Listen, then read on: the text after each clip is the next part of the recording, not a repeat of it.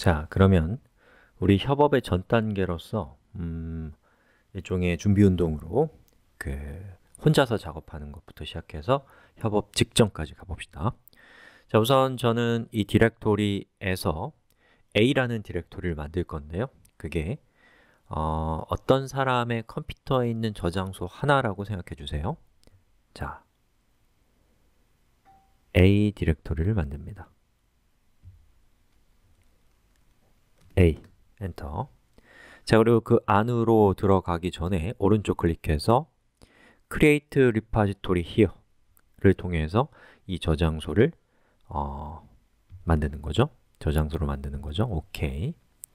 자, 그 다음에 그 안으로 들어가서 저는 새로운 파일을 만들 거예요. 자, 메모장을 켰고요.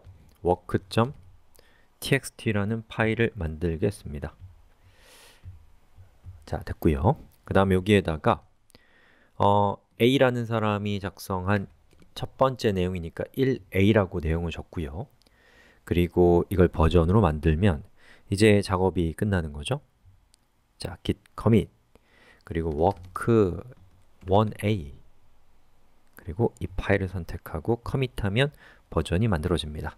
자, 이렇게 버전을 만들기 시작하면은 우리 어떤 불안감이 엄습하나요? 이 파일을 잃어버릴지도 모른다는 불안감이 생기겠죠. 이것을 백업하기 위해서 저는 원격 저장소를 필요로 하는데 여러 원격 저장소 서비스 중에 저는 GitHub를 이용하겠습니다. 다른 것도 다 비슷비슷하니까요.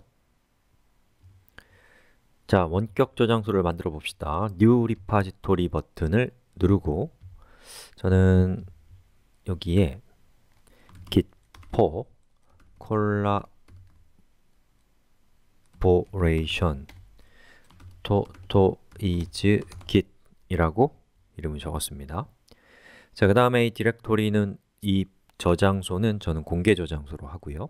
create repository에서 저장소를 만들었고요. 그러면 이제 이렇게 만들어진 저장소로 제가 지금까지 작업한 것을 올려야겠죠? 자, 여기 있는 뭐 여기 있는 이 주소를 카피해서 주소를 획득한 다음에 자, 푸시를 시도해 봅시다. 자, 오른쪽 클릭해서 여기 토토이즈 git에서 push라고 되어 있는 것을 클릭합니다. 자, 그러면 여기에 destination 이것을 어디로 보낼 것인가 라는 부분이 지금 비어 있거든요. 자, 그럼 manage라는 버튼을 클릭하면 이렇게 생긴 화면이 뜨고요. 여러분이 알아낸 이 주소를 붙여넣기 하고 여기에다가 이제 origin이라는 별명을 붙이는 거죠. 자, 그 다음에는 음, 여기 프론이라고 되어 있는 것은 뭐 지금 설명하기는 조금 어려운데 원격 저장소의 그 branch가 사라지면 우리 지역 저장소의 branch도 사라진다. 정확하게는 추적 branch가 사라진다. 뭐 이런 기능이더라고요. 자, 이거는 체크를 하십시오. 그 다음에 new, save, add 이걸 클릭해서 origin을 등록하는 거예요. 그리고 이렇게 하면 되겠네요.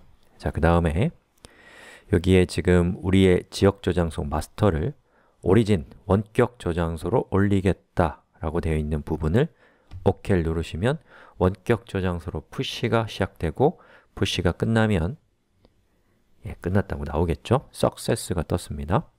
자, 그럼 잘 됐는지를 확인해 봅시다. 자, 여기서 리로드를 했습니다.